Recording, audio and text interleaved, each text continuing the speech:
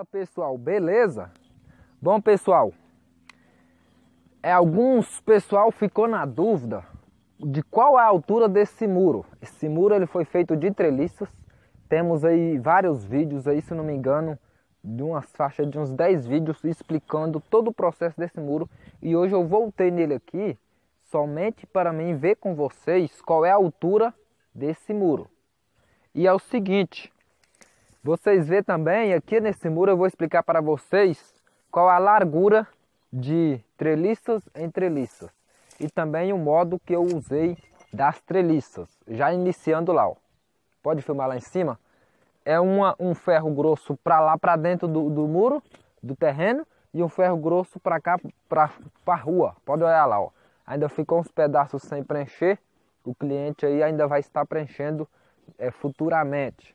Então, muitos estão fazendo o muro aí e depois fala que não vai ficar bom, muro de treliças. Só que se você usar essas treliças dessa forma, dentro e fora, do jeitinho, não tem problema. Olha a resistência desse muro.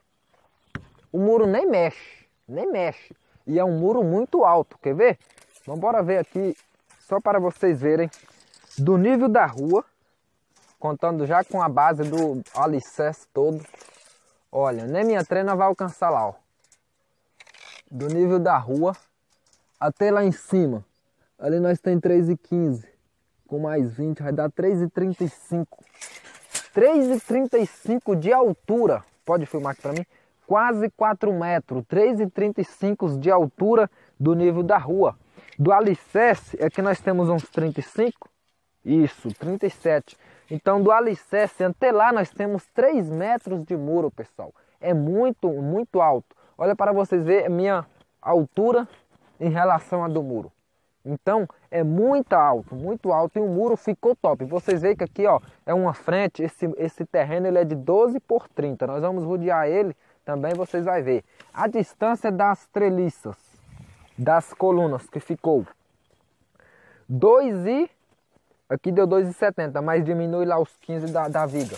2,5. De 2,5 em 2,5, os vão aqui, nós temos as colunas. Então, 2,5 altura 30, é, 3 metros de altura a partir da base e do, do nível do, do terreno aqui, do nível da rua, 3 metros e 35. Olha a altura filé. Só que vocês reparam que eu falei, como eu falei, cada, cada serviço é um serviço diferente. Cada profissional é um profissional diferente. Então, aqui nós usamos o, a treliça ferro grosso para dentro, ferro grosso para fora de cada uma. E tem outra coisa também. Olha para vocês verem a altura que eu bati minha viga. Olha, 1, 2, 3, 4, 5, 6, 7, 8, 9, 10 e meio. 10 e meio eu bati minha viga passando. Por que 10 e meio? Porque o cliente aqui queria esse, esse, esse portão mais alto um pouco. Esse portão ele não é de 2,10, ó. Ele é de 2,30. 2,30 de altura. Então, se eu colocava só 10 fiadas aqui, ia dar 2,10 de altura. Então aqui, é, como ele queria de 2,30, vocês veem que esse espaço aqui, ó, aqui a altura, o, o metalon já vem na altura padrão, que é aqui, ó. Só que foi feito mais essa extensão lá pelo serralheiro, porque esse, esse portão ele é de 2,30 por 2,85, se não me engano, vamos ver. Isso, 2,83 ficou aí então, ó, de 2,30 por 2,83 é um grande portão. Mas o que eu quero dizer é essa viga aqui, ó. Se não tivesse o portão, ela seria feita com 10 fiadas de altura. Porque se você bater... Ah, não pode bater ela já no final do muro? Pode, mas a resistência dela não é a mesma. Uma, uma vez que, quando esse muro levar um impacto aqui, ó. Essa, essa treliça, se ela estiver lá em cima, ela vai tipo que balancear menos. Agora, se essa viga viesse para cá, um exemplo ela viesse para cá, ao ela receber o impacto, esse espaço aqui ia ganhar menos impacto, por causa que foi travado as duas vigas aqui embaixo. Mas quando é travado lá, fica um vão maior. Quando esse vão fica maior, fica, pode causar que a, o recebimento de carga é outro. Vamos ali para vocês verem ali também. Olha, aqui também, ó, vocês podem ver tem um metro, viu? Por que, que eu recuo esse pedaço aqui? Vocês viram no muro de treliças recente que eu fiz? O, não pude deixar esse recuo aqui por causa do terreno que era outro tipo. É igual eu falei, cada serviço é um serviço. Mas se você puder deixar, é bom. Por que aqui deixar? Porque aqui vai ser instalado seu padrão e sua caixinha dos correios. E outra coisa também é que quando esse muro é feito aqui, já esse portão já é feito aqui, a, é, esse, esse, esse vão aberto do portão, ele não vai ficar com muita segurança. Por quê? Uma vez que aqui tem a coluna e aqui nós vamos ter o vão aberto solar, esse portão ele vai ganhar impacto nessa parede aqui e nessa parede dali. Então você trazendo ele para cá, o impacto sofre somente nessa parede aqui e essa parede aqui fica livre. Filma dali. Olha para vocês verem aqui da lateral esquerda. Esse muro ele é bom porque esse, esse lote ficou top. O muro por quê? Ele é de esquina. Aqui se o cliente terminasse, ficaria um muro muito top, mas infelizmente não deu dele fazer o acabamento. Olha isso aqui, 3,10 de altura do nível da rua, do nível da rua. E vocês podem ver aqui, ó, que aqui já foi batida a viga com 10 fiadas, como eu falei, ó. Porque não tem portão, ó. 1, 2, 3, 4, 5, 6, 7, 8, 9, 10. E bateu-se a viga de 18 centímetros, a viga. E aqui ficou de 15. Então, para vocês verem, tudo bem feitinho. Seu muro não tem problemas. Vem comigo. Olha. Vocês podem estar tá vendo aí. As tábuas foi bem amarrada. Coluna zerada aqui, ó. Muito top mesmo. Feito no capricho. O segredo do sucesso é caprichar no serviço. E muitos ficam falando, ah, o muro de treliça não aguenta. Como que não aguenta? Esse muro aqui, pessoal, tem quase, tem 3 metros de altura a partir da base. E vocês mesmo conferiram junto comigo. Olha para vocês verem que coisa top aqui, ó. Aqui, ó, o que, que aconteceu aqui? Eu perdi esse nível, porque se eu continuasse, eu ia trabalhar dentro do chão. O que talvez é bom, o que talvez não é. Porque, como eu falei, quanto mais a viga baldrama em cima, melhor. Aqui eu já iniciei outro nível, ó. Já peguei outro nível. Olha para vocês verem, os vãos sempre é de 2,5. Olha, esse aqui tá até com 2,38. Qual é o segredo da descobrição dos vãos? Vou ver se está com todos com 2,38. Isso, todos com 2,38, 2,40.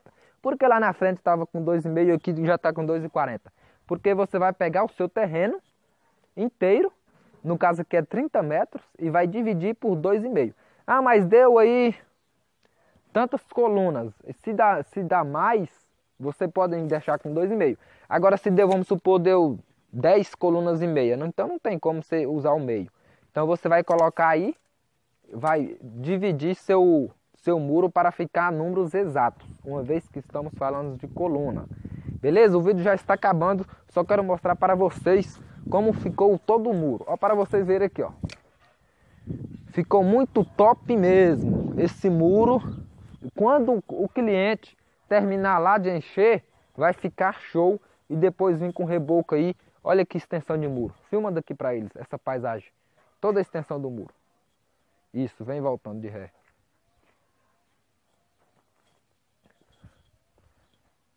Isso. Então, pessoal, aqui é o fundo do terreno. Como eu falei, eu vou mostrar tudo. Pode ir pra Vou mostrar tudo para não ter enrola. Olha para vocês verem como ficou aqui no fundo. Aqui o, o baldrame do fundo aqui, ó, já ficou zerado no chão. Por quê? É o mesmo nível, é o mesmo nível que eu estou vindo de lá, ó. É aquele mesmo nível eu peguei e passei para lá. Aqui já está zerado no chão, uma vez que é vizinho terreno de vizinho. Aqui eu não coloquei porque pode ser que no futuro vem nessa rua aqui, vem um aterro, vem um, um, um calçamento, vem um asfalto que não tem ainda e pode vir que aterro fica bem aterrado na parede. Bem, então fica aterrado na parede do muro, que não é bom. Então aqui se chegar o caso de fazer aterro na rua, nós temos o baldrame tranquilo aí já mais alto. E aqui do mesmo modo, ó. O cliente também pediu desse nível porque ele quer fazer um aterro dentro do lote. Eu não vou filmar lá dentro, mas se vocês quiserem eu trago outro vídeo para mostrar como ficou por dentro. Mas aqui por fora é melhor. Vocês veem aqui, ó, não acabou lá em cima. Olha a altura das vigas, das treliças. O que, que o cliente quer com aquelas treliças ali? Ele vai querer fazer uma área descendo para lá. Então aqui vai cegar essa parede, ela vai ficar com uns 3 metros e meio de altura, é mais ou menos, 3,70 de treliça. Aqui os vãozinhos aí também de 2,40 aqui no fundo, porque não veio o portão aqui. Então deu para dividir bonitinho. Então vai subir até lá ó, e vai descer com a, com a área, beleza? Então é isso aí, pessoal. O que eu quero explicar para vocês é isso aí. Muitos estão falando treliça, treliça, treliça. Um serviço desse aqui vai. Quando é que ele vai cair? Quando é com vento, vai conseguir derrubar um muro desse? A não ser se dá um furacão. Aí, aí já ninguém segura. Pode ser com ferro, pode ser com tudo quanto é tipo de material. Mas um vento normal, e é que a nossa região venta muito. Olha a altura desse muro, olha que coisa top, que coisa linda aqui. Então é isso aí, se vocês gostaram do meu vídeo, deixe seu like, comente sobre o vídeo, inscreva-se no nosso canal para que nosso canal cresça e crescendo, acabou. E crescendo, a gente cresce junto também. Peço perdão por muitas coisas aí que não não está dando para trazer para vocês, mas estamos com mais serviços para frente, que se Deus quiser, agora nós vamos trazer muitos conteúdos diferentes aqui no canal. Grande abraço do seu amigo Andrade Vank do canal Pedreiro Mineiro e até o próximo vídeo. Falou!